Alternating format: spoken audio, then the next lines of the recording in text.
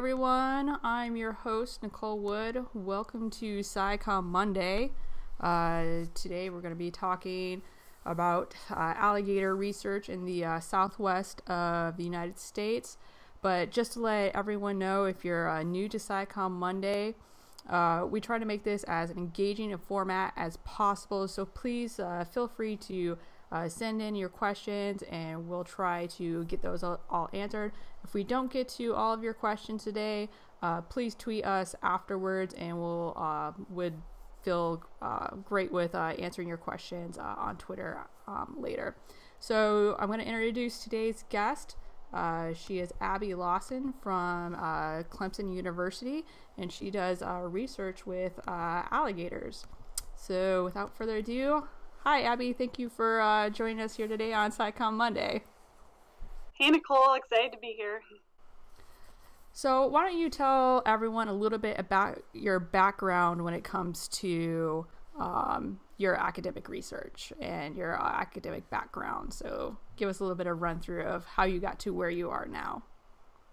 Sure. Well, I grew up in Juneau, Alaska, so the extreme Pacific Northwest, and I was super lucky to see a lot of wildlife every day. So, you know, eagles, bears, salmon, you name it. And so I've always had fondness for nature. But um, around the time I was graduating, I was ready to get out of Alaska. So I grew up in a small town. So I uh, moved to California, went to the University of California at Davis, and started as a Japanese major, oddly enough. Um, yeah. so it turns out uh, studying Japanese in high school is a lot different than it is in college. So oddly, I found my calling um, in wildlife. I, I, remember the first day I stepped into the department and saw, you know, taxidermy squirrel on the wall and everyone wearing flannel. I felt right at home. Um, so yeah, I was hooked. And after graduation, I worked in waterfowl for a couple years throughout the western United States, so Montana and Alaska. And eventually that led to summer jobs studying common goldeneye uh, wildlife biology, so which turned into a master's degree opportunity. And I went to the University of Nevada, Reno. And, you know, when I first started, I was really focused on, you know, waterfowl in particular but I picked up a lot of um, population modeling skills and got really sucked into that. So when it, take, when it came time to pick a career path, I really wanted to stick with that. And lo and behold, there's this PhD opportunity to study alligator population dynamics to inform management in Clemson, where I'd never visited and I'd never yeah, been to the Southeast at all and never seen um, alligators in the wild so yeah, I just decided to take a chance and come out here. And so yeah, four years later, here I am. Awesome. So like you've just been slowly kind of making your way down and across the U.S. Then. Yeah, I feel like I need to you know round out my my corners and go somewhere in the Northeast next. I don't know. yeah, go to Massachusetts or Maine. But uh, yeah. of course, I'm I'm or was born in New England, so I might be slightly prejudiced or biased towards you know that you know part of the country. So get some yep. great lobster there. It's definitely worth going. Ooh, I love that. yeah. Um. So, with your research, are you mostly just based around the Clemson area, or are you throughout the uh, entire southeast uh, there with your research? My research is focused on the state of South Carolina, but the alligator's inland distribution um, is ends about two hours from here. So if you picture South Carolina, it's shaped like a pie slice. So the crust end is at the ocean, and Clemson is kind of at the at the inner point. So um, yeah, we're about yeah we're about two hours or so from where the distribution ends. Um, so that's where I'm based, but all my field work is on the coastal plain of South Carolina. So I don't conduct field work in other states, but I've you know met a bunch of alligator biologists from other states and compared notes, which has been a huge help. Again, being you know the Alaskan trying to study alligators in South Carolina. So, like, is a, is there any special concerns with them in South Carolina? Like, or are they um, you know having like threatened status, or is it you know more unusual to see them up there? Because I, I think when most of us think of alligators in the U.S., we think of Florida. I mean, I don't know if it's just because you know the University of Florida is known as the Gators, and so we mm-hmm. always think of them being as Florida. And I remember when you sent me the map, you know, seeing how widespread. Like I never thought of alligators being in Texas of all places. So is that just is it this are they currently spreading or are there like places where like say maybe in your area where they might be threatened or endangered like can you tell us a little bit more about the the range and populations of the alligators yeah you bet and that's a really good question um, so South Carolina is towards the northern extent of their range, and alligator life history, so things like growth rate and survival and reproduction, it's strongly influenced by temperature because they're ectothermic. Um, you know, they uh, you know, they need they need heat, external heat to metabolize food and things like that. So because it's we're farther to the north, there isn't um, there's a shorter growing season, as they call it here, compared to somewhere like Florida. What I mean by growing season is alligators can only metabolize food when it's above 66 degrees all 24 hours. So that only happens about six months out of the year up here versus, you know, virtually all year round in Florida. So in general, they have, they grow a little bit slower up here. And obviously it's even longer for places like North Carolina. Um, however, there's a lot of uncertainties given climate change projections, how that could play out. Um, there's been some stories in the last couple of years about increased sightings around Atlanta, which would be considered a range expansion. And yeah, then comes into question too if they are expanding to the north or perhaps inland, where are they going to go? Did it? I mean, so is you know, is the range like you know? Because I saw in that one in the range map you sent me. Um, here, let me throw it back up here for uh, everyone. There was like that one spot. Was it the the Wheeler uh, National Wildlife Refuge? So there one uh, random spot like up in the middle, like off the main uh, range. Like, is is that something that is common occurrence with alligators that people have been seeing that they are just establishing these new populations that are completely separate from their overall population range? Um, I really don't know as much about that particular population, but what I'm guessing is it was a remnant population, so it was there, and then maybe you know the urban area filled in. Because not only do we have a changing climate, just over the last you know, yeah, a couple hundred years, there's been expansion, you know, of human sprawl and and fragmentation and things like that that's been changing too. And also to circle back on your other question, um, there's been harvest programs established in states uh, practically throughout their range. I think that North Carolina doesn't have a season, but they're gathering data to you know evaluate the question better.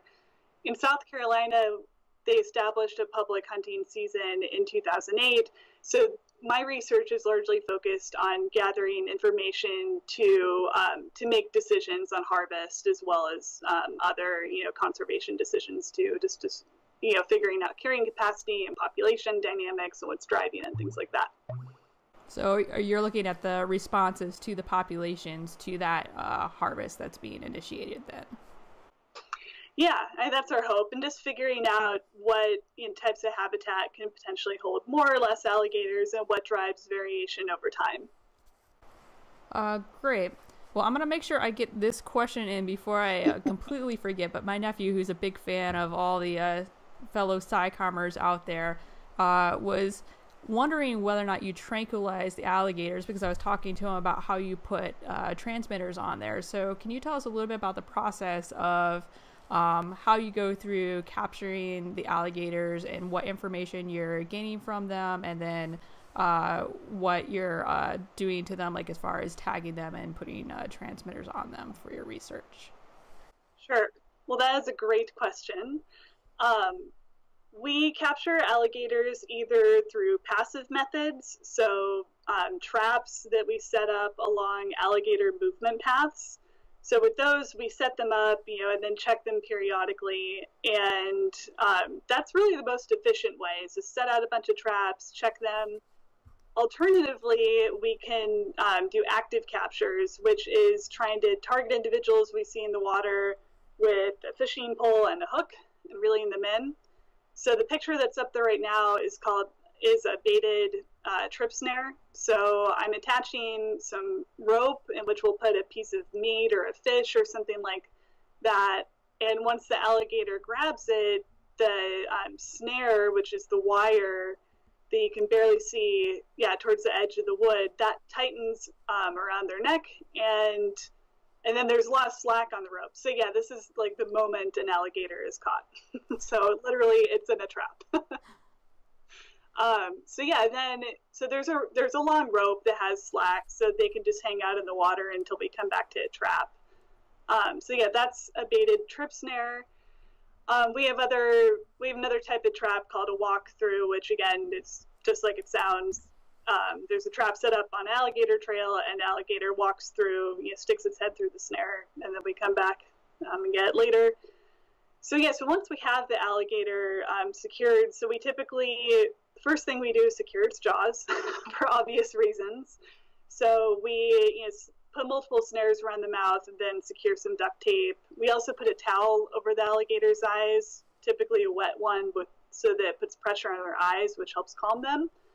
And then we usually have somebody hop on the back um, and somebody else hold the tail. So the alligator's tail is incredibly muscular and it could easily knock somebody out if we were to hit them in the head. So um, yeah, my guess is there's probably somebody outside the frame of this picture holding the tail that's a 12 footer. I remember that day. So uh, uh, you said it's a 12 footer. We had a question come in. Uh, what's the, the, typical size of the uh, gators that you'll catch in your traps? So is a 12 footer about normal size, or what's the range that you'll get in those traps? So females tend to stop growing, you know, between eight and nine feet. So a female above above nine feet is pretty big. Um, versus males, they can get up to 14 feet. The maximum length that we've ever come across um, on our study, our males are probably close to 13 feet.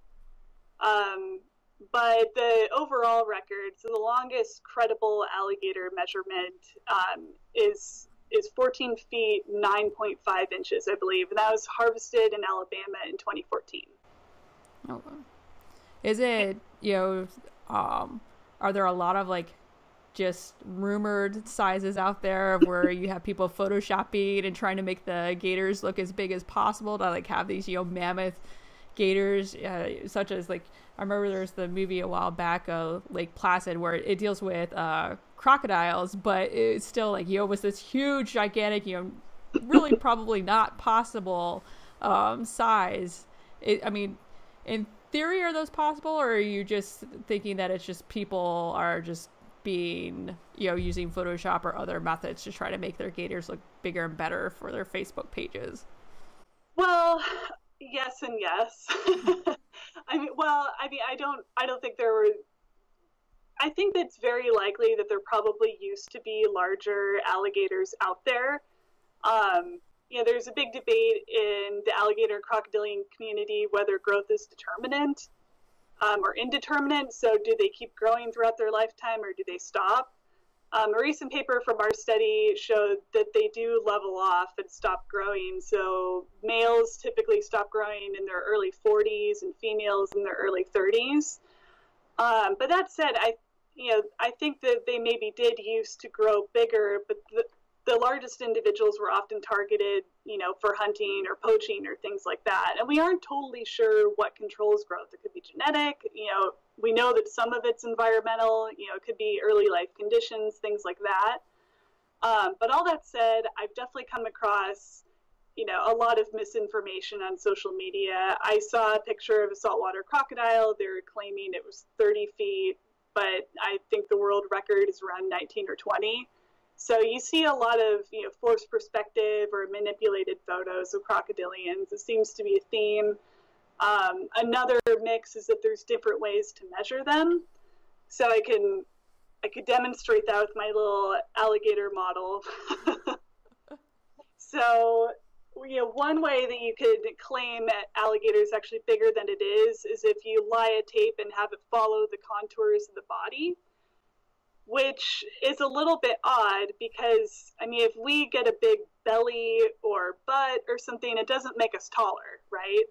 So why, you know, would alligator with the large back hump um, make, you know, be considered longer? So, or you could measure it, you know, just just with a taut measuring tape. Um, yeah, so so there's different ways to measure it. We're not really sure what controls growth, and then it's also hard to know what was out there, uh, you know, a long time ago before, yeah, before they're thoroughly documented.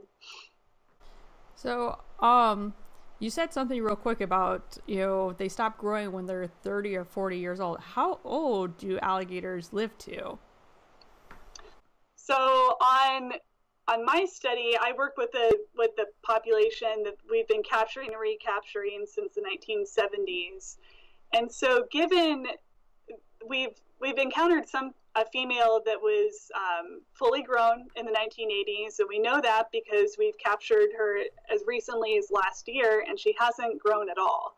So given if she was um, if she was captured as a 30 year old in 1980 you know, at least 30 years old in 1980, then she could be, you know, in her in her 60s now. So, um, so yeah, I have heard some some speculate that they could live into their 80s potentially as well. So, yeah, it's just it's very difficult to figure that out because we know that they are long lived. Right. So it's unless like you're able to have an alligator that you tagged right, you know, after it hatched and be able to monitor it through its whole life, which of course that's kind of hard to do when you know if they live longer than possibly you as a scientist might live to be able to see how long that they live. So you'd have to depend on someone else having tagged them before you came around. Um, yeah exactly. And plus given you know current scientific funding levels you know just having having that type of longevity in studies is really rare these right. days and getting harder unfortunately. Even though it, it's so important I, I know how much my research would have benefited from even long term studies, you know, something that was even at least 10 years old would have helped. But I can only imagine, you know, when you're dealing with such a long lived species, to be able to have a study that lasts for a century or more would really be helpful to be able to see those um, actual true you know measurements of how long they live rather than just having to speculate based off of okay it stopped growing at this point in time and so when you're um, marking uh, these alligators, how do you go about marking them so that way you can identify them later? Good question. We use multiple methods. Um, the most common one that a lot of other alligator marking studies use is called scute notching. So the ridges that you see on the backs of alligators and on their tails, those are called scutes. So you know, like the little triangles that stick up. So what we do is we we cut those down in a unique, um, individually identifiable pattern. So um, and that results in a in an alphanumeric code. So yeah, in this so in this diagram, the scutes on the tail correspond to letters, and so so there's one row of scutes, and so here we have the C, the C and I scutes are cut down where it splits into two, those are called the lateral scutes. And the scutes on the left are the tens, and then the ones on the right are ones. So in that last picture, I believe it was something like 43. Um, and yeah, and then for the letters, so it starts at A, um, I guess, and the anterior, and then works its way up the alphabet towards the end of the tail. And then we also use other um, identifiers. We use toe tags that go in their feet. And these don't have the longest retention time, but it's really helpful um, for for populations that could be harvested because it's something that a hunter knows how to interpret. So, you know, they, they can read it. Like most hunters probably don't know the lettering and scute numbering system that we just showed. So, but, you know, most of them can read that. And so we've tried to get the word out about, you know, who to report, um, you know, harvested alligators to. And then the last thing we do is we um, insert pit tags into their neck and scan those as well. And all this seems, you know, very straightforward, but it is surprisingly hard sometimes to figure out which alligator is which again, that's just a fun artifact of long term studies. Do you think that the um, the toe tags, like I've got two questions with that. Um, one, why don't they stay in there so long? And then uh, two, do you think that it's just because the toe tags are so similar to what, uh, say, like the bands that you have on birds that people can identify, so that makes it easier for them to understand what they are and maybe report those back? Yeah, I mean, I think it depends on how old the individual is when you mark it. So if their foot is still growing, that you know the toe tag could get pushed out. On top of that, we know that some of our alligators have ventured into marine habitats, which can really corrode um, the toe tags. So that's a problem too. You know, and alligators like to hang out in a lot of really gnarly habitats where stuff can easily get snagged or ripped out. So, um, so yeah, there's no like national, you know, alligator banding uh, database called yet but yeah, I think so. I think you know the use of the toe tags it really operates on a local scale, just getting the word out, you know, to um, to post flyers like where people actually hunt alligators or at some of the meat processors because most people when they harvest an alligator they don't try to butcher it themselves because it's a huge job and so they take it somewhere else and so just having having something up there that they can refer to okay um, there was a question that came in earlier that kind of uh, goes off of uh, what you said. Is the hunting season the same time as the breeding season? Like, how do, when do those occur? So the public waters hunting season starts in mid-September. Um, we do population surveys, so-called nightlight surveys, that go from May until mid-September. We try to wrap it up before hunting season because we don't want to be on the water at the same time people are trying to kill alligators. Um, I can understand that. I always try to be off the water doing my mute swan research right before the waterfowl hunting season would begin up here in Michigan. So. yeah, yeah. I mean, plus too, it, like you know, that causes problems for population estimation anyway. But yeah, so this is one of the boats that we use. This is the DNR boat, which is pretty sweet. Um, yeah, so this is you know what it could look like on a typical nightlight survey. I believe that this is from Florida. So alligator eyeshine is actually pretty easy to distinguish. Um, it glows this kind of cool yellow, orange, red color, and um, and we can actually, if we get close enough, we can actually assign the alligator to a size class just by looking at its head. So the distance from the eyeshine and to the snout tip, so the little bump at the end of their snout, in inches correlates to body total length in feet. So the joke I always like to make is that alligators come in the English system, not in the metric. Ha ha ha. yeah. Um, so the I, the other thing I know you do is you put transmitters um, on the alligators for I'm uh, for keeping track of where their movements are. So can you kind of uh, walk us just uh, quickly through the uh, process of attaching the uh, transmitters and then what information you're getting off of them and is this because I remember asking earlier if you have to tranquilize the alligators when you do this. So, like, how do you um, help control? Because you were saying like you had to tape their mouths and you put the um, cloths over their eyes. Is there anything else you have to do to try to um, restrain them if you're not tranquilizing them? Yeah, so, okay, so correct. We don't use chemical uh, tranquilizers or anything like that. There's always a risk when you do that. So it's actually pretty convenient that alligators, you don't have to do this. What we also do is we tie their uh, back legs behind their back. So essentially, if the alligator knows that it can't move, it doesn't struggle quite so much, which is nice. Um, like I mentioned earlier, we usually have somebody that is making sure the tail doesn't whip around and knock our equipment all over the marsh.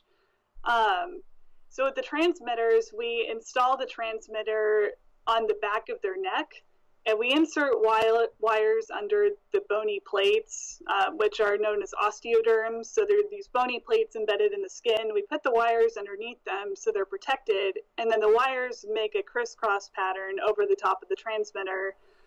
And then we cover that in some marine grade epoxy, so to uh, to reduce damage to the wires. So, and then we spray paint it all black to make it look a little bit camouflage and then sometimes they go in the mud and add some natural camouflage like that. Um, yeah, like a, a, study in Australia, that uses method showed that they could stay on for four years, and when they do fall off, it usually doesn't cause too much damage, or well, it, it causes very minimal damage compared to some of the other methods that they used to do. Um, yeah, so this is the least invasive, and we can get, um, depending on the battery life of the transmitter, we're hoping to get between uh, a year and a half to two and a half years of data from them they're programmed to take location fixes every hour, and they have accuracy of about three to ten meters. Oh wow! So that's pretty good. Uh, yeah. What's the farthest that you've seen one of your alligators go from where you've captured it? Uh, probably about twelve miles. Um, it came back though.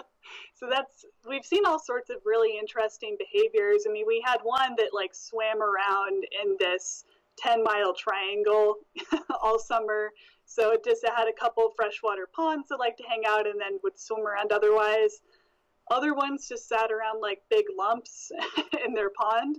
So um, yeah, we're trying to get at you know, some of the factors that could influence these behaviors. Like, do bigger ones move more or less? You know, are they maybe defending a territory? Um, and then, you know, use of, of, you know, marine or brackish habitats, like is that linked to certain environmental patterns? You know, like are they more likely to use salt water if there's been a lot of rain so they could better withstand the salinity? Okay. Yeah, it'll be interesting to see, like, you know, what their true ranges are and how their ranges depend on what their particular environments are. Mm-hmm. Yeah, I mean, it's it's kind of funny. Just they're all very different, so it's hard to make a generalization other than that. right. Um. So, what's the? I don't know. Maybe like the because we only have a, a, few minutes left here. Let me double check here on our uh, our time. Um, yeah, just a couple moments left. So, what's like maybe the the coolest field story you have from getting to work with alligators? Oh man. uh, let's see. It's hard. Hmm try to think of one that's not like overtly dangerous or something that happened. um, I will say this is this is kind of funny, and every everything turned out okay. We were doing a nightlight survey. We were getting ready to. We drove it during the day. So this is an impounded wetland um, where you know, there's dirt roads in between you know wetland areas. And one of the things about alligators that makes them a bit of a menace to managers is um, is that they tend to cross the road in the same parts. And so if it's a dirt road or something like that, it really bores down into it and kind of, and eventually what happens is that, you know, the road gets thinner and thinner and thinner. So earlier that day, we were practicing the route. We found this spot that was really bad. And we're like, oh my gosh, there's no way the truck could go through there. And, you know, we're like, oh, we'll have to really make sure that we don't go here, you know, ever. So then, of course, later that night, everything looks very different at night when it's hard to see.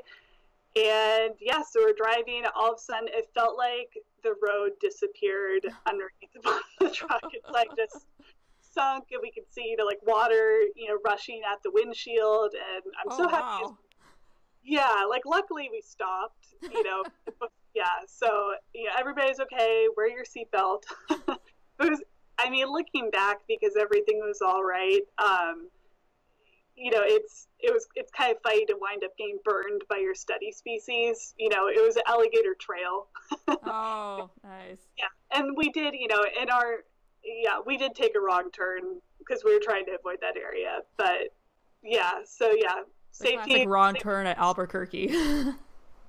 yeah, so could have been a lot worse. Right. Yeah, yeah. The, they were setting a trap just for you after all those traps you set for the alligators. They're like, yeah. gotta get those researchers. yeah. You know, the other thing that's kind of cool that I think is just really interesting to think about is the first transmitter that we installed in 2015. We used a different type of wire that we didn't use again because it wound up, the transmitter wound up falling off after a couple days.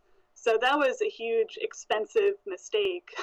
oh yeah, then in 2016, we were installing a couple more transmitters. We captured this alligator, and you know, it looked it looked totally normal to us. You know, again, it speaks so um, it speaks to the method not having you know much lasting effect. And then later, you know, we attached the new transmitter and looked it up, and sure enough, it was the first alligator that we had captured in the previous year.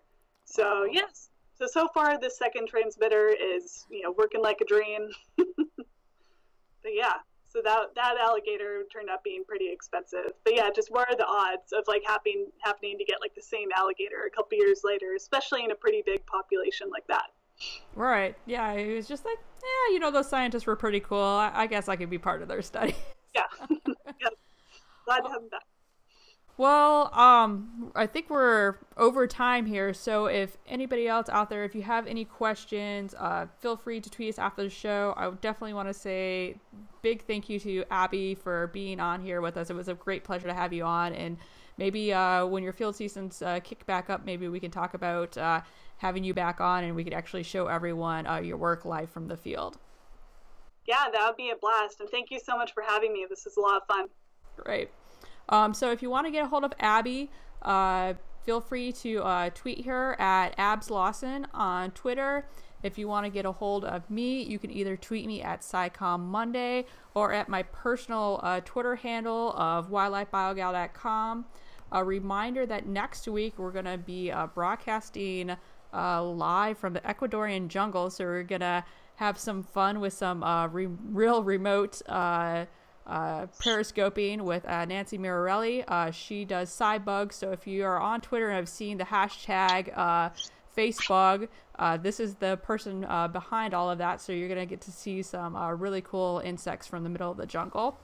And with that, we're gonna uh, sign off. I hope you all had a great time on uh, SciComm Monday. And uh, just uh, please have a great rest of your day. Uh, go out, explore, do some science, have some fun, and hopefully we will see you next Monday.